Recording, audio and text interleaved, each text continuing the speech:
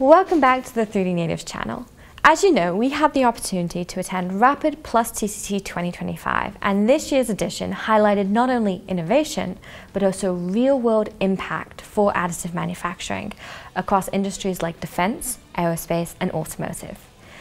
We've selected five standout applications and technologies that we thought are redefining what is possible in manufacturing.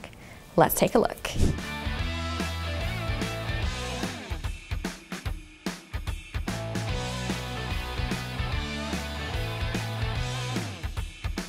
One of the most impressive defense-ready systems came from Additec with their Android X, a compact, portable DED solution housed in a 10-foot container.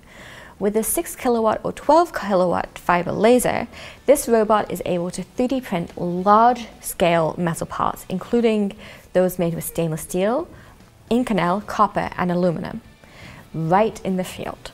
It's ideal for on-demand repairs or production in remote or combat locations as it is solar powered and designed for rapid deployment. Over at HP's booth, we found the jaw-dropping Doughboy, a 2,800 horsepower beast featuring 75 plus 3D printed parts, all made using HP's multi-jet fusion technology.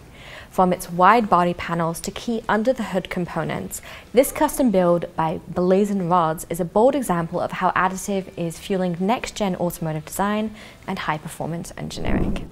A newcomer from South Korea, Mada is targeting aerospace with its large format wire arc additive manufacturing.